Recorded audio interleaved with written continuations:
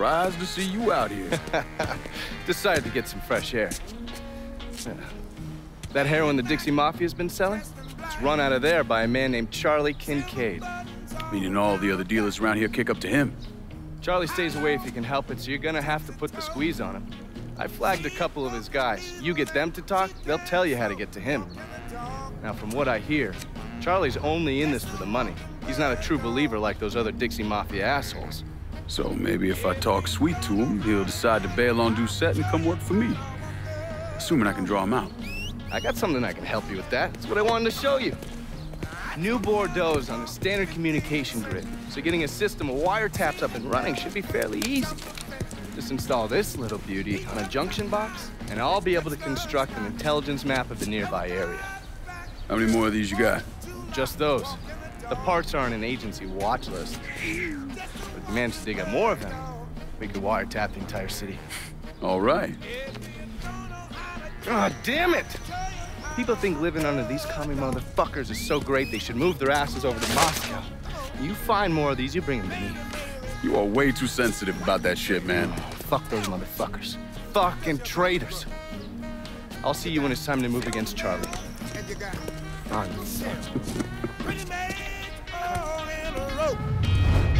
bird dog. Just a walking bird dog. If you don't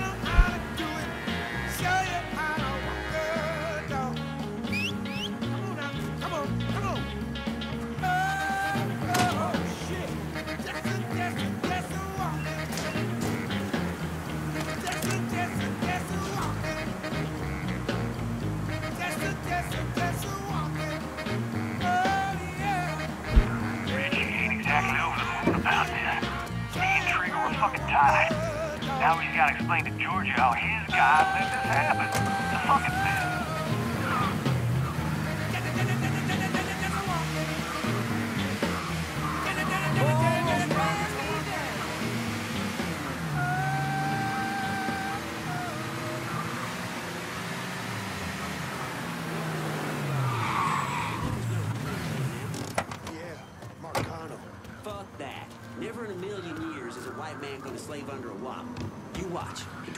Between Richie's plans and the money from the dope, Dixie will be running this city by next year.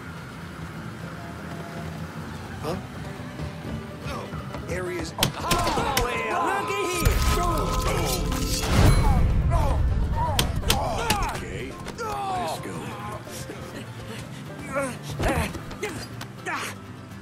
What's Four Finger got going on at the church? There's all kinds of dope over at the church.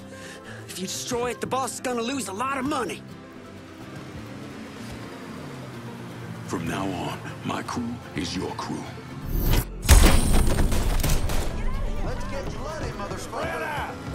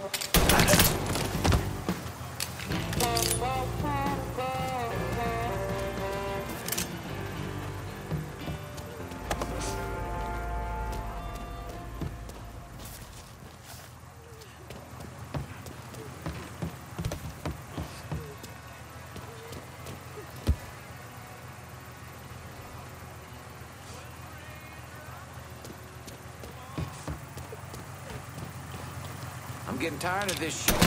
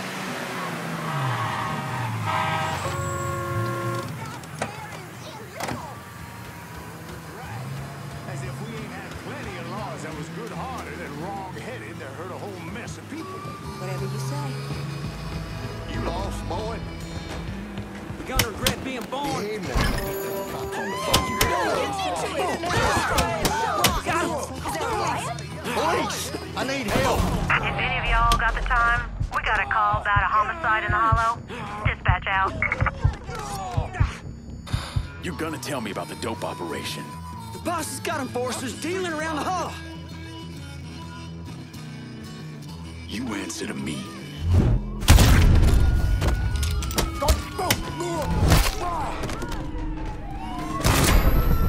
All units in vicinity be advised. Suspect engaging with on-scene units. You got real police incoming!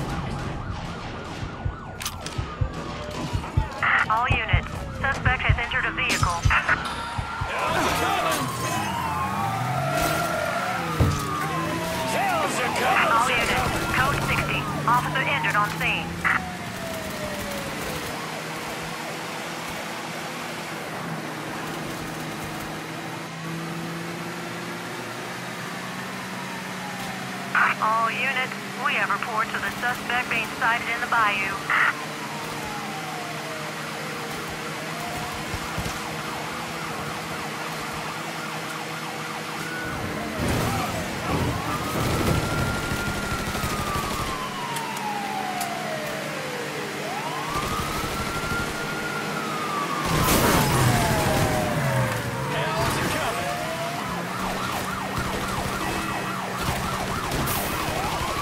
Hells are coming! Got a beat on a dump some bitch!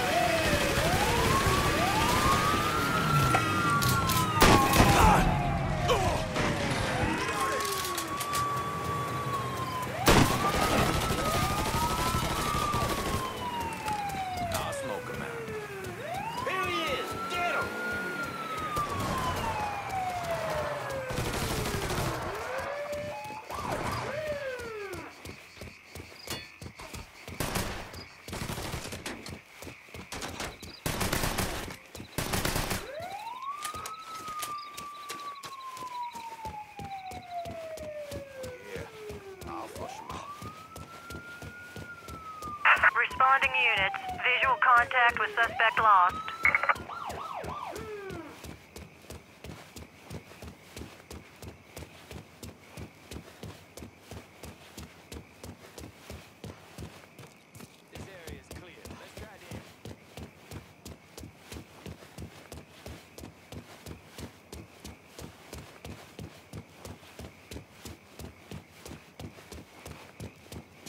Nothing doing. Eh, maybe I'll try over here.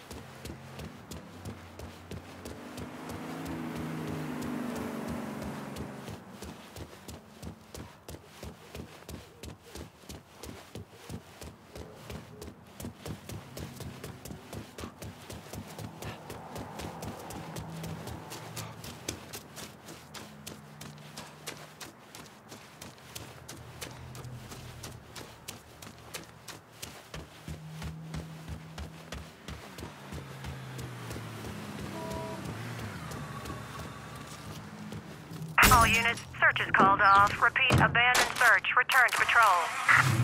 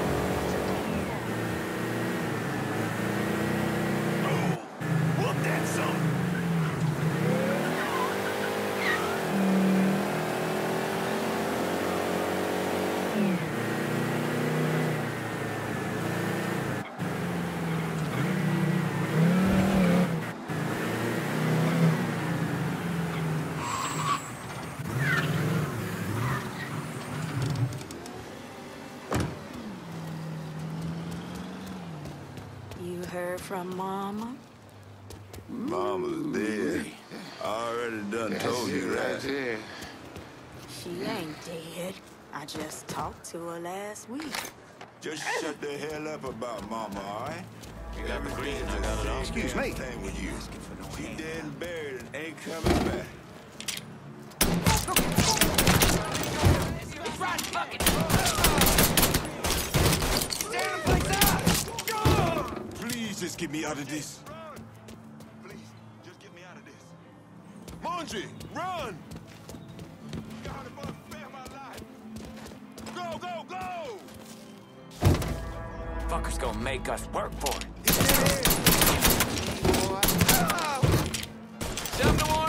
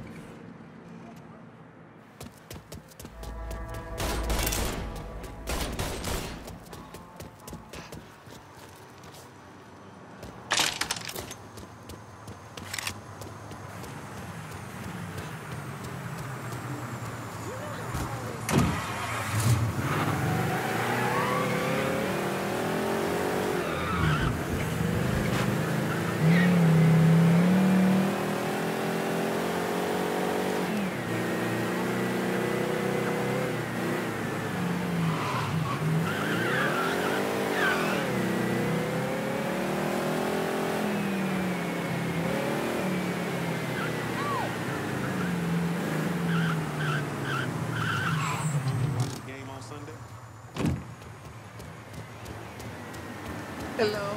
How you doing? I've been listening in on old Charlie, and he isn't such a bad fellow. He's more of a kinder, gentler redneck, and as luck would have, his wife is expecting. Man in that situation usually doesn't care who he works for, long as he's still above ground. Poor Sap starts blubbering when the two of them talk about names. Right now, it's between Bocephus and Thomas Lee. Anyway, his guys have the church locked down, and all of them are more of the shoot first, let God sort them out variety of redneck. You get your hands on Charlie, though. He'll do what he's told without putting up much of a fuss. All your intel's been updated. You going back to the motel? After I get something to eat, I'll see you when you're done dealing with these inbred assholes.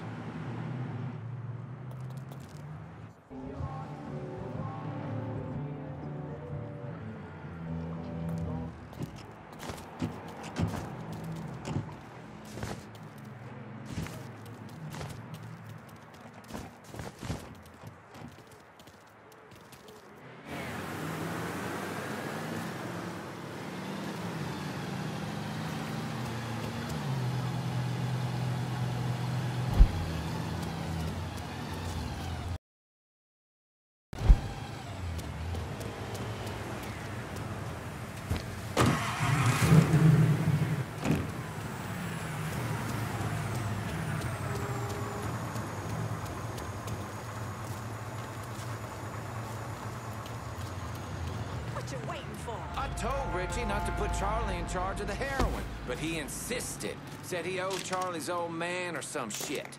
Ah, Charlie ain't half the man as... I got him! He's out! Get him!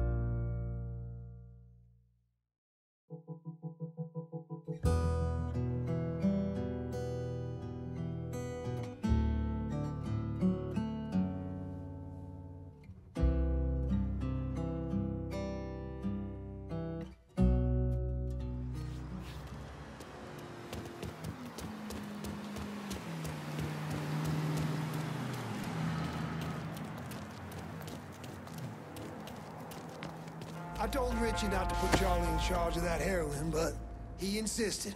Said he owed Charlie's old man or some shit. Aw, Charlie ain't half the man his pop was. Shit. When that nigga shows his face round here, we'll deal with him. And then deal with Charlie.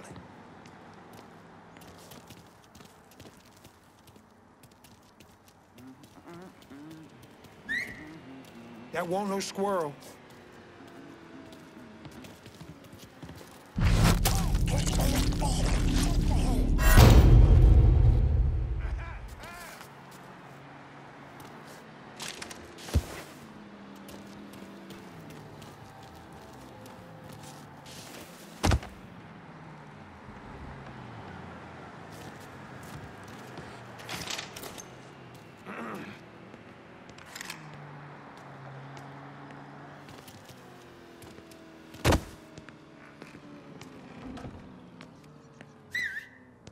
Someone there? Hello?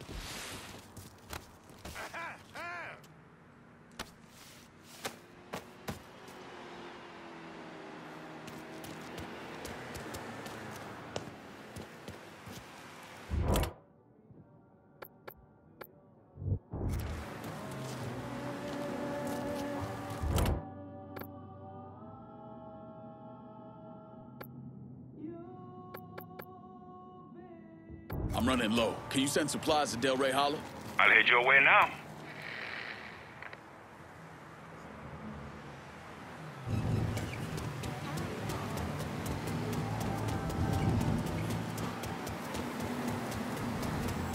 Everything you see is for sale.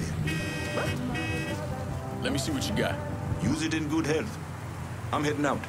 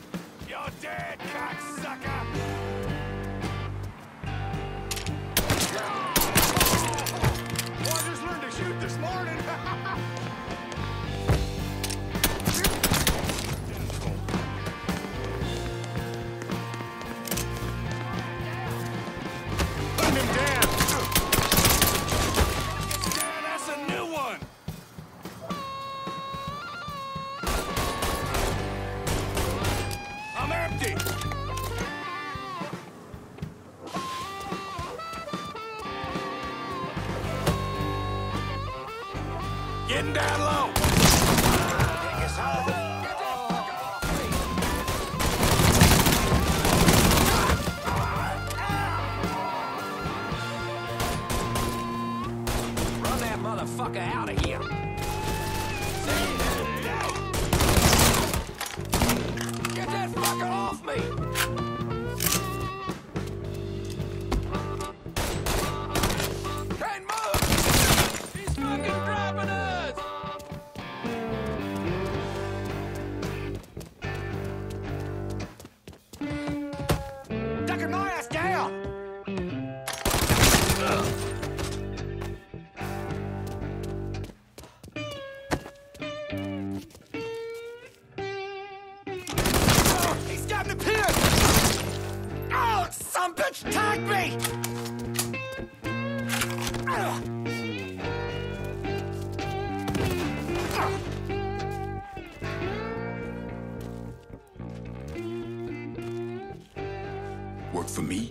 might live long enough to raise a family.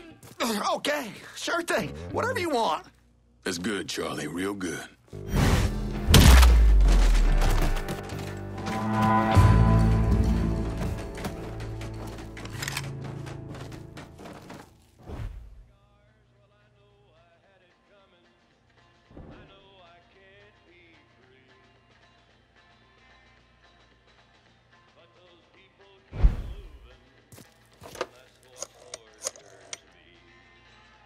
Send your men to the First Baptist Church. Those Dixie heathens have been handled.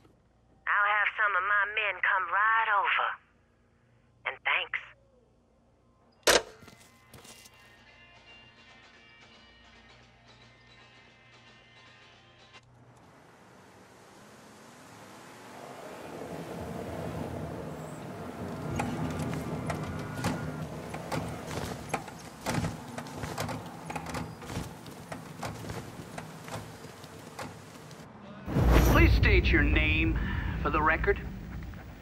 Donovan, John.